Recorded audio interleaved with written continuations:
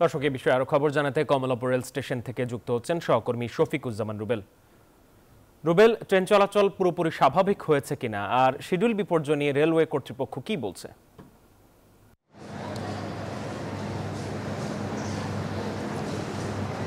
মাহমুদুল্লাহ আপনাকে ধন্যবাদ। শিডিউল বিপর্যয় কিন্তু চরম আকার ধারণ করেছে। আপনি জানেন যে বারো ঘণ্টা পর ট্রেন চলাচল শুরু হয়েছে ঠিক কিন্তু স্বাভাবিক বলতে গেলে যেই আহ, চিরচারিত আমরা যেটা দেখি যে একটা পর একটা ট্রেন ছেড়ে যায় সেটা কিন্তু হচ্ছে না। আমরা দেখছি যে কমলাপুর রেল স্টেশনে এই মুহূর্তে আপনি যদি দেখেন যে যারা অপেক্ষমান যাত্রী রয়েছে তারা কিন্তু অনেক সময় যাবৎ কিন্তু এখানে বসে আছেন। কেউ কেউ আট থেকে দশ ঘণ্টা কেউ রাতে এসছেন তাদের ট্রেন কিন্তু এখনও স্টেশনে আসেনি। স্টেশন ম্যানেজারের সাথে তারা কথা বলেছেন।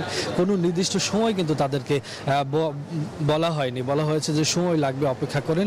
এই অপেক্ষার প্রহর কিন্তু ধীরে ধীরে বেড়েই যাচ্ছে। স্টেশন ম্যানেজার যেটা আমাদেরকে জানিয়েছিলেন যে এই সকাল থেকে মূলত বারোটার পর থেকে যে মাত্র চার জোড়া ট্রেন ছেড়ে গিয়েছে এই কমলাপুর রেল স্টেশন থেকে, এরপরে কিন্তু এখন পর্যন্ত আরও দুটি অপেক্ষমান ট্রেন যেটি ছাড়বে, সেটাও প্রায় ঘন্টাখানিক যাবৎ কিন্তু যাত্রীদের জন্য অপেক্ষা করছে। কেননা এই দীর্ঘ সময় যখন ট্রেন শিডিউল বিপর্যয় হচ্ছে এর মধ্যে কিন্তু অনেক যাত্রী তারা যাবেন কি যাবেন না, এই ট্রে- ট্রেনের যে টিকিট ফেরতের বিষয়, সেটা নিয়েও কিন্তু একটা সমস্যা তৈরি হয়েছিল। যেটা ম্যানেজার জানাচ্ছিলেন, যদি কেউ যেতে না চায়, তার টিকিটের যে টাকা, সেটা কিন্তু ফিরিয়ে দেওয়া হবে। কিন্তু সামগ্রিক পরিস্থিতি যদি বলি যে, এই মুহূর্তে কমলাপুর রেল স্টেশনে, সেটা দেখছেন যে প্রচুর যাত্রী তারা কিন্তু অপেক্ষা করছেন, যারা তাদের গন্তব্যে যাবেন কখন কখন নাগাদ ট্রেন স্বাভাবিক হবে, সেই নিশ্চয়তা কিন্তু তারা পাচ্ছেন না। তবু তারা অপেক্ষা করে যাচ্ছেন।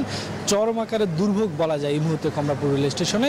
স্বাভাবিক হবে কখন? সেটা কিন্তু আজকের দিন হবে কিনা সেটাও নির্ধারিত করে ট্রেন স্টেশনে যারা কর্মরত রয়েছেন, তারা কিন্তু বলেনি। তবে কাজ চলছে বলে তারা আমাদেরকে জানিয়েছেন। তো সব মিলেই ছিল এই মুহূর্তে মাহমুদুল রুবেল, আপনাকে ধন্যবাদ। দর্শক, কমলাপুর রেল স্টেশন থেকে জানাচ্ছিলেন সহকর্মী শফিকুজ্জামান রুবেল।